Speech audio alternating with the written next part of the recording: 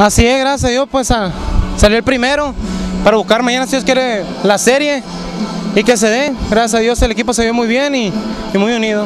Pues es como todos los días, uno, uno se prepara y se pone su mente a, a dar, el, a dar el máximo esfuerzo y pues yo sé que para acá, para el sur es, es complicado, pero si pones tu mente bien, todo pasa. Pues gracias a Dios se dio, se dio el batazo y que sigan mucho más, ojalá.